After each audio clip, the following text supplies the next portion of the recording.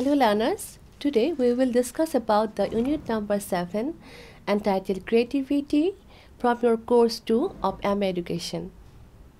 I am Dr. Archana Adhikary. We will discuss this topic with you in two parts. The first part will discuss about the meaning of creativity, its characteristics, factors that influence in creativity, what are the steps that are involved in creativity and the characteristics of a creative person with the help of which we can identify who is creative or not. Then we will summarize and end the part. So let's start. So what is creativity?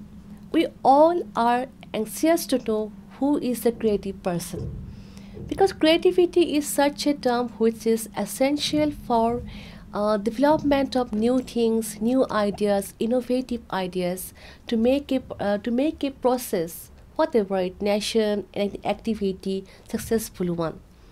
So basically, creativity essentially relates to the potentials of an individual for generating new idea, forms and practices.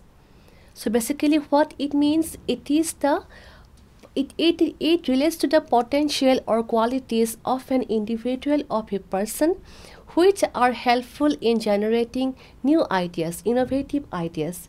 Because creativity itself is a term which is concerned with innovativeness.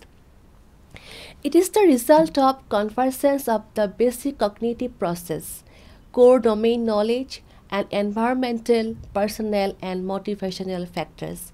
We know that in the last uh, in the rest uh, course uh, units of the particular courses you have come to know about many things about psychology learning motivation transfer of learning all these things you have come to know. So you have you have come to know that this uh, creativity is a part of a cognitive process of an individual. It includes the core domain knowledge and environmental factors because for a person to be creative, he needs some motivational factors. He needs some environmental factors which the parents, the school, the family can provide him. As well as it is also personal. He must have the particular quality. Then only he can be considered as a creative person. Then it is the capacity to produce something that is both new and adaptive. Yes, important thing it is the capacity through which a person can produce something that is new as well as adaptive. And it is also not important that every time the creative person should uh, produce new thing he can also adapt the old thing into a new term. That is also a creative activity it is a complex phenomenon as it is determined by a wide range of factors. Because in creative process there are lots of factors which we will discuss in the later part. Therefore, it is a comprehensive and complex phenomenon. There are lots of definition you will get in the SLM or in any textbook of psychology, but the definition I have it here is Simpson. He said that creative thinking involves new forms of thinking away from the traditional forms. Generally, we all are in habitual in a habitual form to think in the traditional mode or form. But creative thinking are not like that. It always go for a new form which is always away from the traditional one it involves curiosity, imagination, research, novelty, etc. Because where a creative person is always in strive, it's a charge of a new thing. He strives for novelty. He doesn't go for the existing one. Therefore, he need what? Curiosity. Curiosity. What is going on? He is always curious. He is always imaginative. And he always look for the novelty, research. That, that is why he is a creative person. As well as creative is a creativity is a very precious and unique quality in an individual. Because we all are not quite creative there are lots of people in a state in a school or in a in the world. There are lots of people millions of people. But among all these people few only a few or a few is a creative why? Because it is a precious kind of quality, unique kind of quality. as it enables the person to solve the complicated problem in the different walks of life. He can think in a new way, he can solve the problem in an innovative way, which is very precious and unique. Therefore, it is a unique and precious quality of a person. That is the main concept of creativity. Basically, it is a complex, it is a very unique phenomenon that happens to a particular person. Then, what are the characteristics on the basis of which we can determine the concept of creativity? First one is universal. Yes, creativity is universal in nature yeah there are few person particular person who have the particular quality of creativity. But it is universal in nature. Anyone in the world can have this particular potentiality. Therefore it is universal. Their novelty. Creativity is always considered dealt with novelty. What it what is novelty? Novelty is the ability to produce something new. As well as belong aside along with creating something new it also go for creating or the adapting the old thing in a new form. Therefore it always concerned with the novelty. Then divergence. Creative creativity always involve divergent thinking more than the convergent thinking. It is always different from other. Always divergent. Then uh, there, there are some condition for creativity. What it is requires free atmosphere. Yes, if a person have to think something new, he need a free atmosphere in a very you know controlled and imposing position or imposing situation. He cannot think. He have to think. He have to imagine for novelty, for innovation, and for this he required a free environment. Then wide scope Creativity has a very wide horizon. It includes all aspects of human life. It is not like that creativity only uh, includes the academic field. No. In any area, in any walks of life, it may be art, it may be drama, it may be cooking also.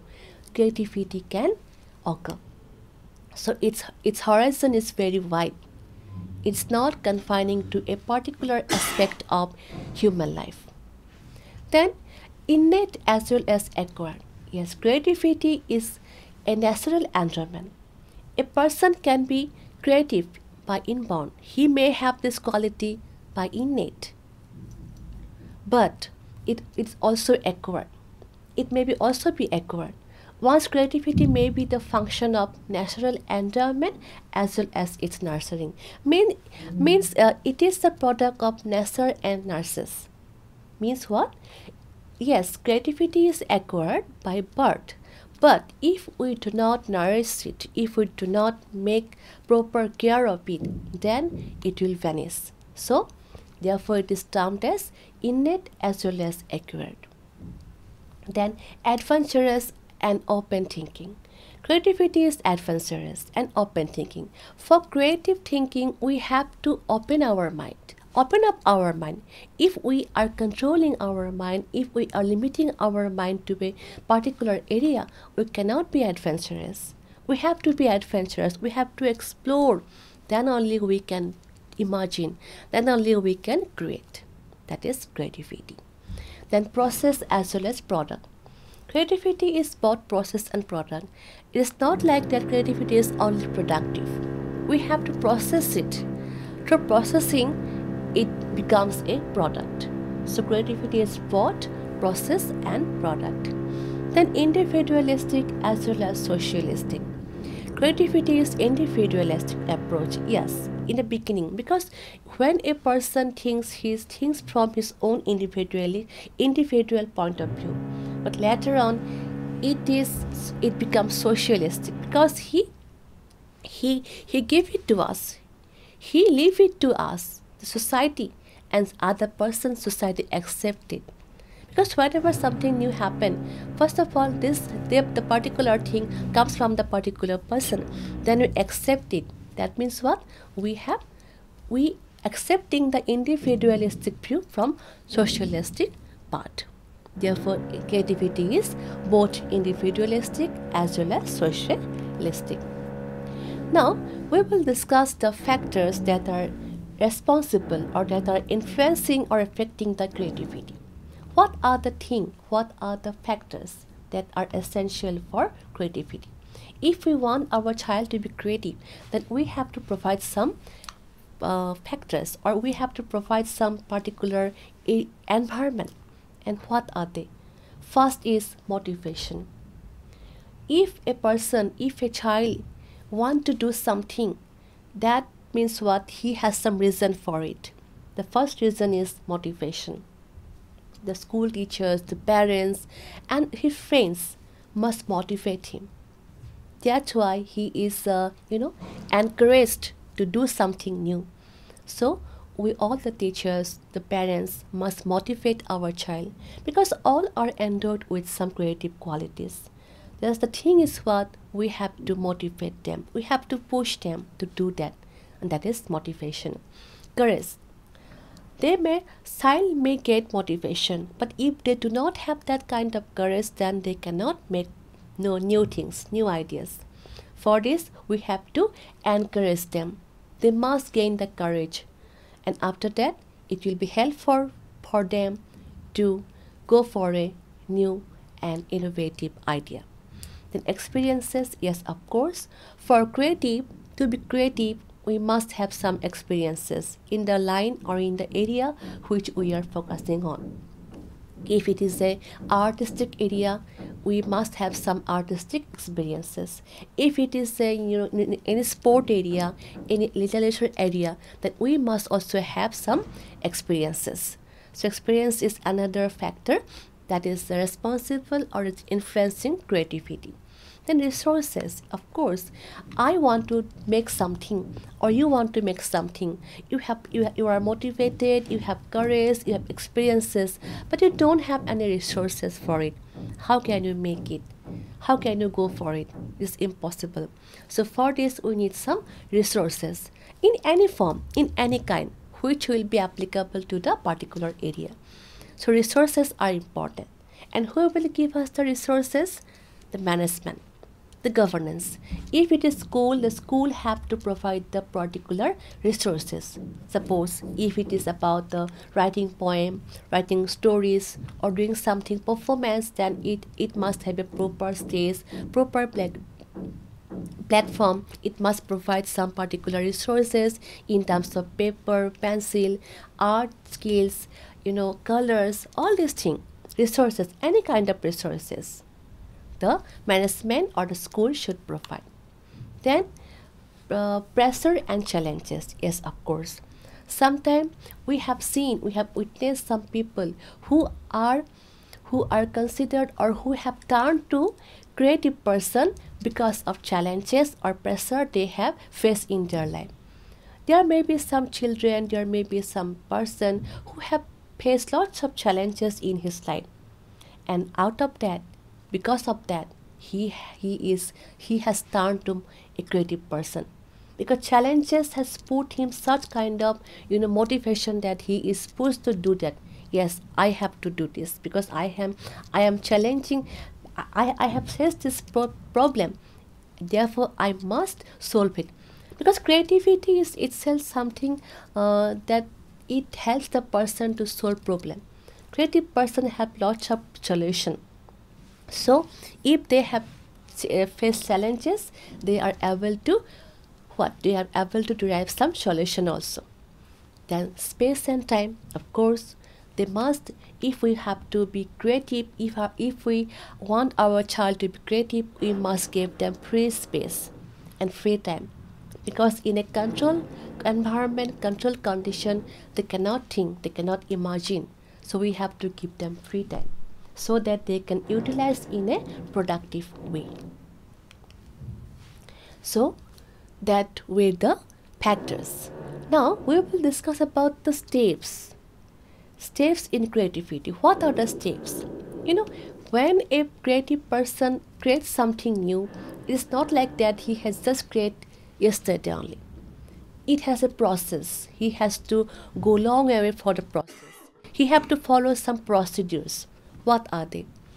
It may be uh, you know it may be uh, individual but uh, psychologists have uh, divided it in some ways. So uh, some have divided it into four stages some have divided into five and some into seven. So it differs from psychologist to psychologist. But in general view creativity is believed to follow the following stages. First one is preparation yes of course.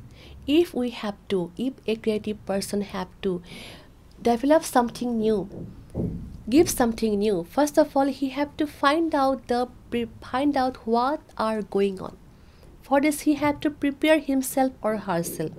He had to find he had to see what is going on what are the problem. So for this he identified the problem. He prepared himself. This is the first thing. Then incu- incubation so what incubation means? Here in this case, he leave the problem. He don't think much about, he doesn't think much about the problem. He just leave it. Then he give time, give space to his unconscious mind to get some solution for it. Because when we are thinking much about a particular problem, we are we are becoming, you know, confused. We get confused. We don't get we don't get proper solution. But when we leave it, when we are free, our subconscious minds also become free. And then it gives us proper cue. Therefore, it is incubation. Then illumination. So all of a sudden, all of a sudden we get some solution. Okay. So as we are leaving our problem free, all of a sudden some new mind, some new thinking comes to our mind. Therefore, it is illumination. And at last, we verify it. The creative person verify it as the solution. So these are basically the four steps of creativity. First is preparation, incubation, illumination, and verification. Then we will discuss the characteristics of a creative person. As a teacher, as a parent, we sometimes may fail to identify our creative children, creative student. So for this, it is very essential to know what are the characteristics a creative person possesses. Because creativity is a natural endowment, it is innate. It is it, the child get it by birth. But if they are not identified, not nourished, it will vanish. So it is very essential for the teacher to identify it, very essential for the parents to find out it. So what are they?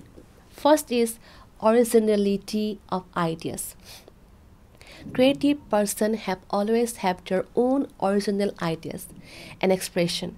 They do not follow others. They do not depend on others' thinking. They have their own ideas and those ideas are original in nature then they has they or they have the adaptability and a sense of adventure.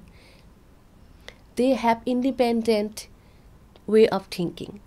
They think in an independent way. They have independent judgment. They do not follow or depend on other for giving any judgment to any activity or any matter.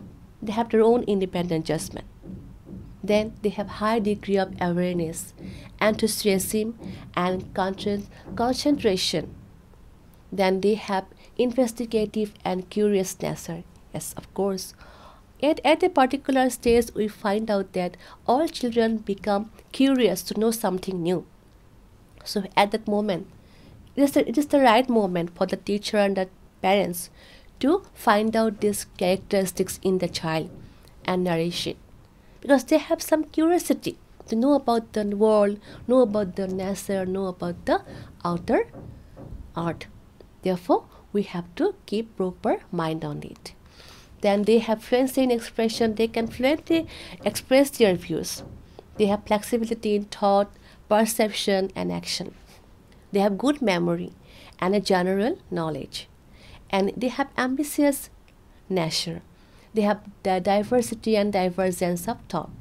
Of course, I, I have already stated that divergence is an important characteristic of creativity. As such, they have divergence of thought. Then spontaneity and ease of expression. They can express their view spontaneously and with ease. They have respect for others' opinion too. Though they have their original thinking, independent thinking, they also respect the others' opinion. And they have large number of ideas and solution to problem. Because they are creative. They have when you approach to a creative person for your particular problem, particular person, they can give you lots of solution because they have their independent thinking, independent judgment.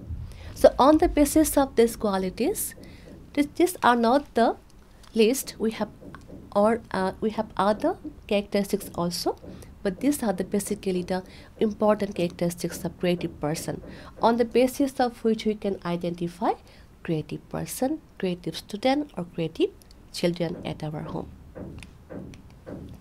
So we have come to the last part of this uh, discussion. What we have learned, what we have discussed. We have discussed about creativity, which is essentially a potential of an individual for generating new ideas and forms and practices. They, are, they have lots of characteristics that are universality, novelty, divergence. Then yeah, there, are, there are some factors who are responsible for creativity. What are those? Motivation, resources, courage, experiences. We have also discussed about the step involved in creativity in terms of preparation, incubation, illumination, and verification. Then there are a number of characteristics that we have just discussed through which we can identify a creative person. So this is the uh, this in this part we have discussed about the first part of the unit. In the second part we will discuss about the remaining part of the unit 7. Thank you.